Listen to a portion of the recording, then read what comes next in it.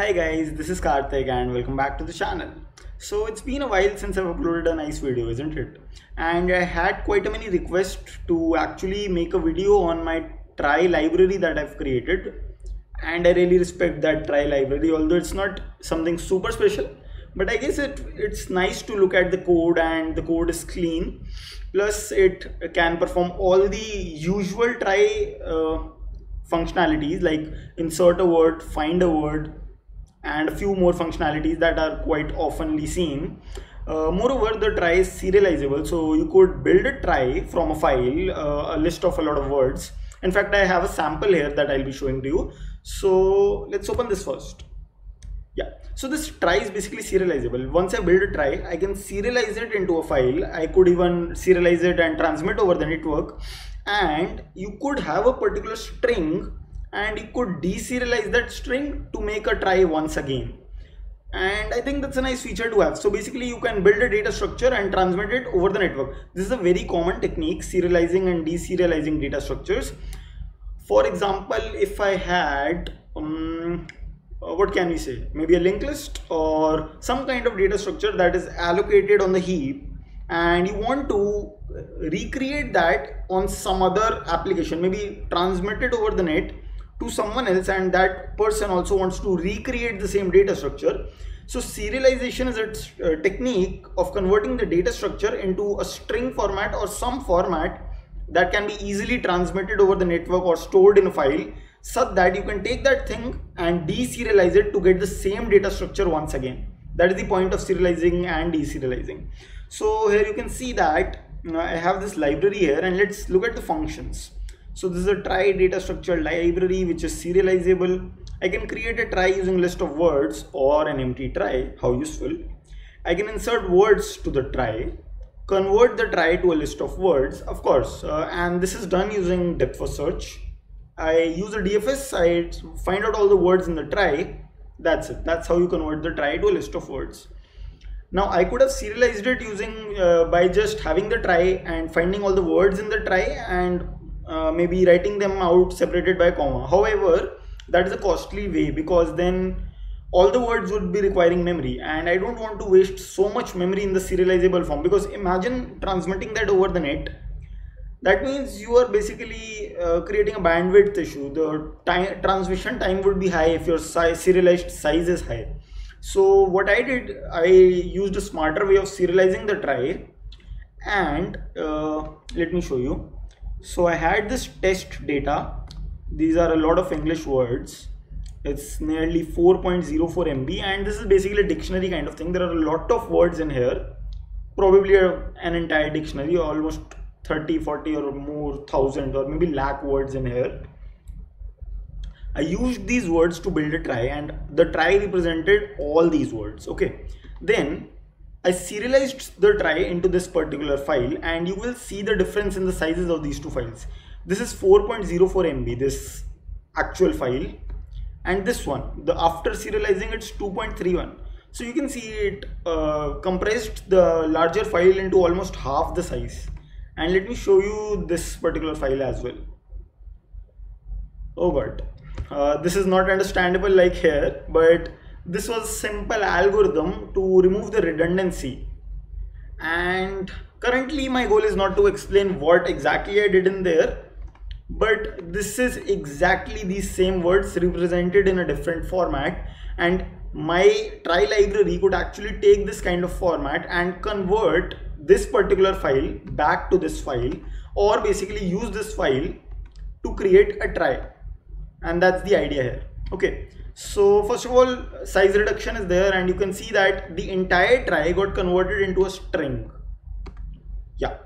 And now let's see what else it can do. It can check how many words in the trie have a given prefix. So I could check how many words start with A or how many star uh, words start with app, app, apple, application, something like that. And these are very easy to use. So if, if you're in, uh, in a contest or if you are doing some software development, you can use this particular trie to basically do a lot of things so yeah it can tell you how many words in the trie have a given prefix it could check if the given word is present in the trie or not so is the word apple present in the trie you can check it will return a 0 or a 1 convert the trie to a string or create a trie using a string. This is deserialization seventh point and sixth is the serialization.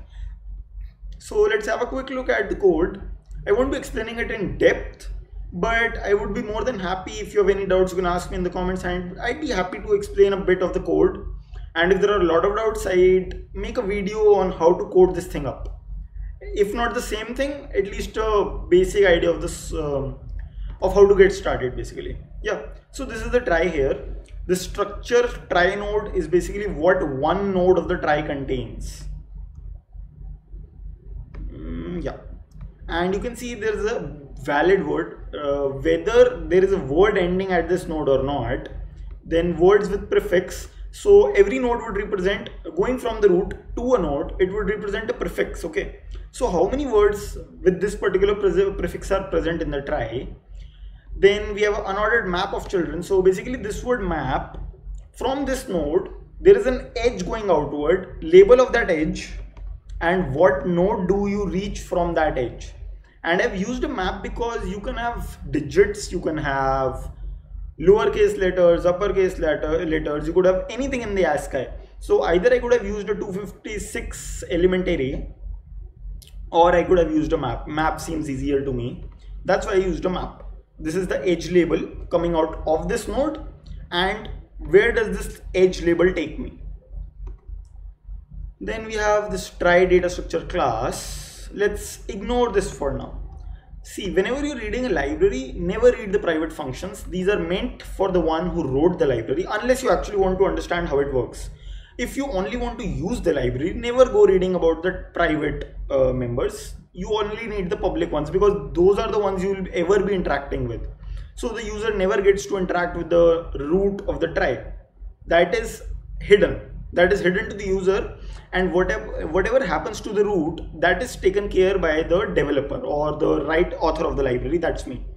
So you don't have to think too much about all these unless you really want to understand how this works.